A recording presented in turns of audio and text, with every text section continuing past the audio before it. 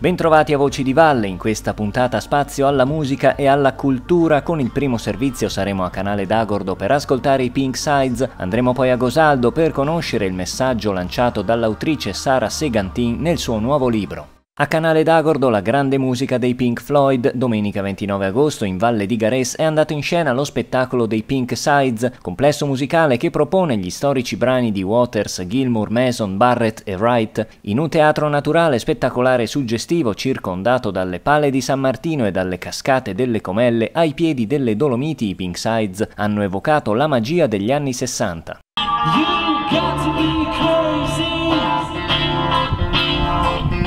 gotta have it really.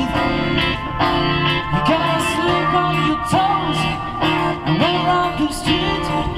You got to be able to be on the easy men when you have to. And moving silently down an aisle side.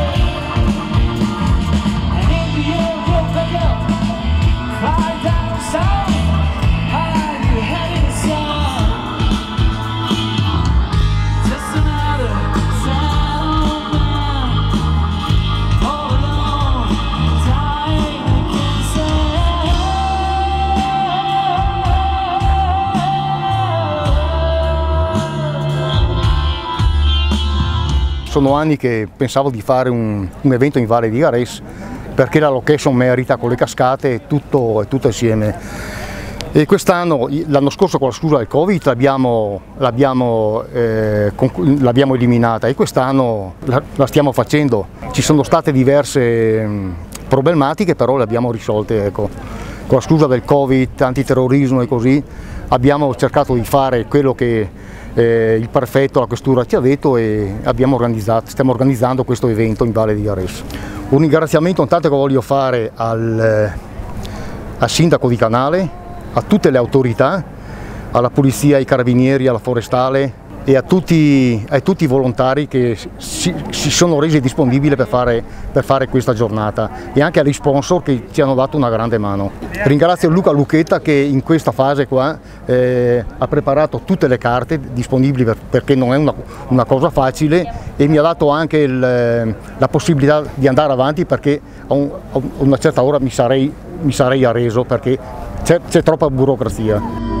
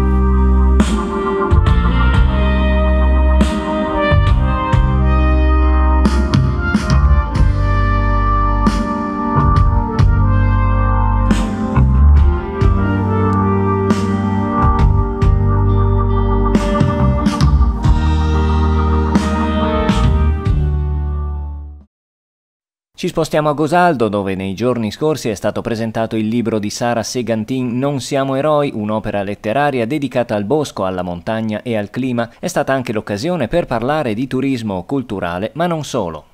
Il tema del libro, eh, ho detto prima, è il tema del, dei, dei, cambiamenti climatici, anche se secondo me è un po' riduttivo in qualche maniera dire è un libro sui cambiamenti climatici.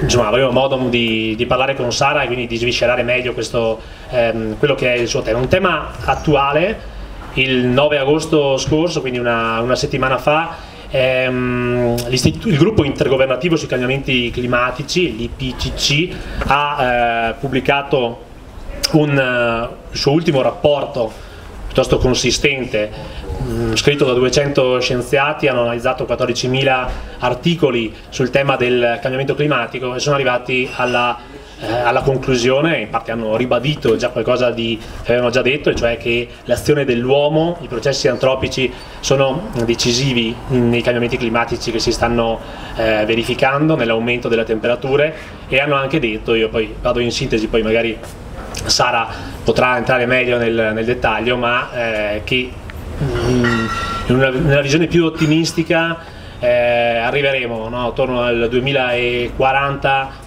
con un aumento di un grado e mezzo rispetto ai livelli preindustriali, oggi siamo a un grado eh, punto uno. Nella maniera invece se continuiamo con, con, questo stile di vita, con queste abitudini, arriviamo nel 2060 con 2 gradi in più rispetto ai livelli industriali e nel 2100 a 2 gradi e 7. Gli eventi estremi, come è stata Vaia, possono svegliarci se parliamo di lotta alla crisi climatica, ma solo se sono inseriti veramente in un contesto educativo, formativo, di informazione, che ci può portare a inserire questi eventi nella complessità di cui fanno parte, perché chiaramente se parliamo anche degli tsunami, delle onde anomale, delle alluvioni, in paesi dove magari la crisi climatica non è neanche un concetto, quindi non esiste neanche nella realtà di certe persone che paradossalmente la, vivano, la vivono più di noi, beh c'è un distacco, un distacco completo da quello che è l'evento singolo per quanto catastrofico a tutto ciò, da tutto ciò che l'ha causato. Quindi la storia di Alice forse voleva un po' raccontare questo, che sì, serve vedere con gli occhi, può servire, ma solo se quegli occhi ci fanno poi pensare con la testa. Solo che quello, se quello che sentiamo col cuore, e io li ho visti, perché come racconto sempre, di Vaia, io non mi ricordo il disastro, i rumori, la tempesta, io mi ricordo il dopo, non so chi, tanti di voi penso che l'avranno visto, l'avranno vissuto, qua ancora di più che in Val di Fiemme siamo una zona altissimo rischio idrogeologico, quindi che paga ancora di più le conseguenze di questi eventi, ma quello che resta è il silenzio di tutto ciò che non c'è più, di tutte quelle certezze che il giorno prima erano, beh si va a scuola, abbiamo i boschi dietro casa, è normale, è quasi banale, e il giorno dopo non c'è più, quelle certezze come che il cielo azzurro e il mare che lambisce le città come Venezia invece di sommergerle così da un momento all'altro.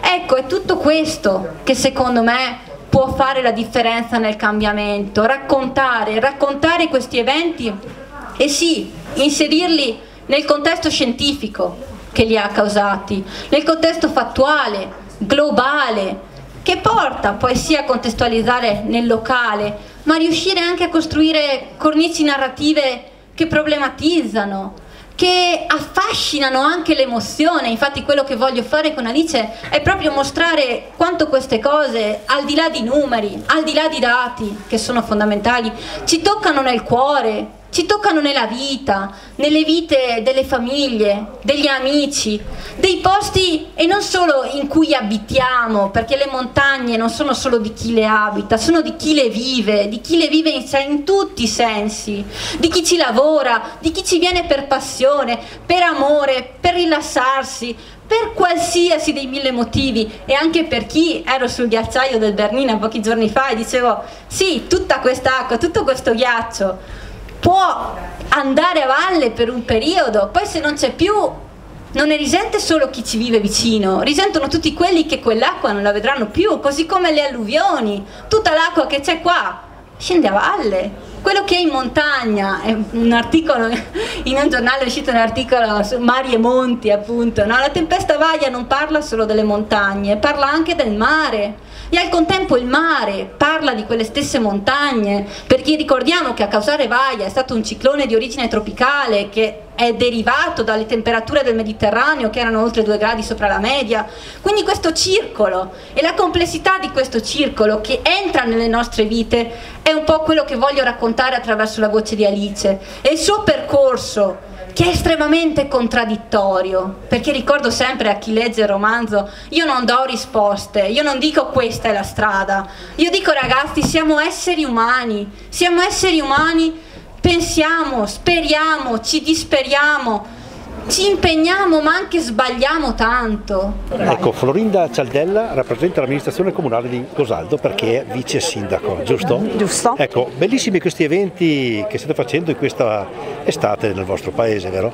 Certo, abbiamo deciso con, in collaborazione con la biblioteca, con gli amici della biblioteca e con la Proloco di Cosaldo di eh, organizzare questi eventi un po' per eh, come dire, creare un momento di comunità in un periodo in cui eh, l'associazione la, è venuta meno a causa insomma, de, de, delle problematiche che ben sappiamo e abbiamo cercato di creare questi eventi che in qualche modo interessassero le persone, che creassero comunità e perché no magari eh, suscitare anche interesse eh, sui libri e alla lettura che spesso viene un attimino dimenticata. Come diceva prima Sara si parla tanto di turismo, turismo di massa e spesso appunto l'argomento Cercate di fare un turismo anche alternativo. Un turismo alternativo, ecco, perché siamo lontano dai riflettori turistici tradizionali certo. e la gente del posto come risponde? I turisti rispondono I turisti molto. rispondono La gente bene, del posto come risponde? La gente del posto risponde benissimo sì.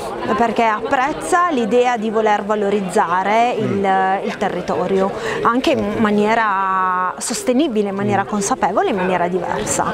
Ovviamente l'idea di avere tanta gente un attimo destabilizza, mm. però sicuramente avere eh, gente che ha voglia di partecipare certo. alla, alla, comunità fa mm. piacere.